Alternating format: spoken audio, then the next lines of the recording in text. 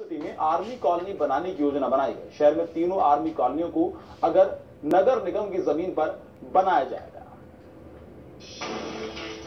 Cyber city में आशियाने की चाहत हर किसी की होती है, लेकिन अफसोस कि आसमान छूती ज़मीन की कीमतों के चलते हर किसी का ये सपना पूरा नहीं हो पाता। हालाँकि अब सैनिकों या पूर्व सैनिकों के लिए गुड़गांव में आशियाने का ख्वाब कोई बड़ी बात नहीं रह गई, क्योंकि सरकार ने साइबर सिटी में आर्मी कॉलोनी बनाने की योजना बनाई है।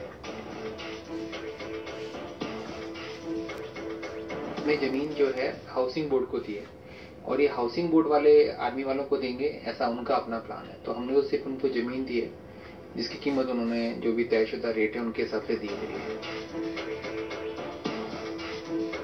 सरकार की योजना है कि सैनिक और उनके परिजनों के लिए अलग से कॉलोनियाँ बनाई जाए।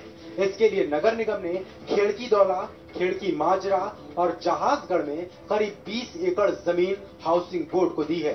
इस ज़मीन की कीमत के रूप में नगर निगम को करीब 11 करोड़ रुपए भी मिले हैं। उनको ज़मीन दे दी है, फ़िलहाल निगम की उसमें कोई उनका नहीं टर्म्स एंड कंडीशन उनकी ही उसमें रहेंगी।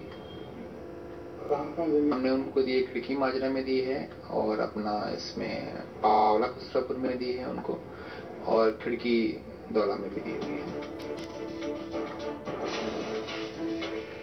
ज़मीन लेकर अब हाउसिंग बोर्ड इस पर आशियाना बनाएगा।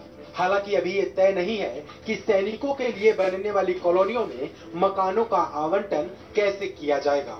हालाँकि इसके लिए सरकार जल्द ही रणनीति भी बनाएगी, लेकिन ये खबर सैनिकों और उनके परिजनों के लिए राहत भरी ज़रूर है, क्योंकि अब उन्हें गुड़गांव में एक अदद आशियाने के लिए भटकना नहीं पड़ेगा।